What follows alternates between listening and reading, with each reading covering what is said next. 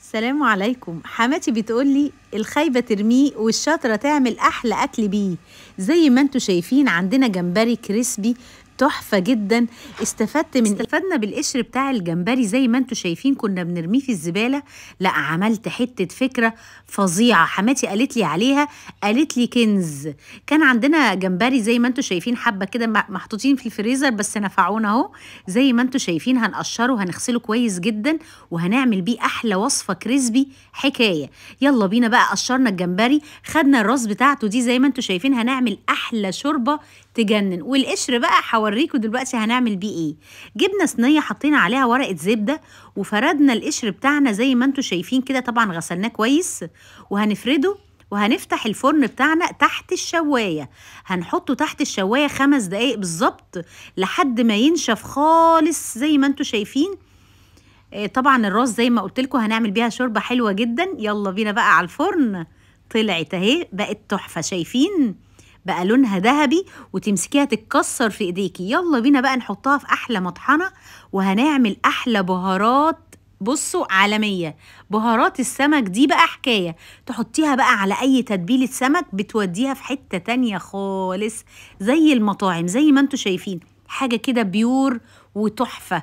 يلا بينا بقى على الوصفة التانية. هنجيب الجمبري الكريسبي بتاعنا. هنعمل له خلطة رهيبة جدا زي المطاعم كده. هنجيب بولتين نحط فيها نفس الدقيق ونفس البهارات ملح وكمون وهنحط شوية بابريكا وشوية كركم بس. مش عايزين أكتر من كده مش هنحط نشا ولا حاجة.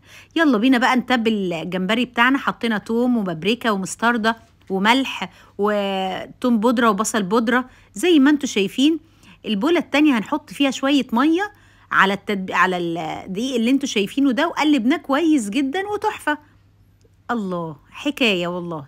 يلا بينا بقى ناخد الجمبري بتاعنا ونحطه في البولة في الدقيق ونرجع تاني نحطه في البولة اللي هي إيه؟ اللي فيها السايلة زي ما أنتوا شايفين الدقيق السايل.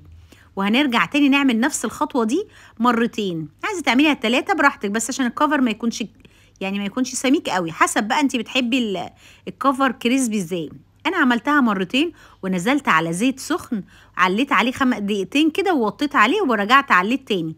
كل ده في ثواني وطلع أحلى جمبري crispy زي ما أنتوا شايفين. حكاية ما خدش ثواني. تحفة. ربع الجمبري ده كان في الفريزر. والله نفعني. دايما أجيب الجمبري بصوا الكفر بتاعه. حكاية. وأشيل منه حبة للزنقات بقى. تطلع بقى جنب شوية سمك. تعمليهم كده وتعملي سندوتشات لولادك. جنبهم أحلى طحينة. حكاية. خطيرة خطيرة خطيرة. الله. تجنن بجد. تحفة. ومع شوية جرجير كده وشوية طحينة عالمية. لو عجبكم الفيديو لايك واشتراك في القناة حلوين. بحبكم كتير جدا.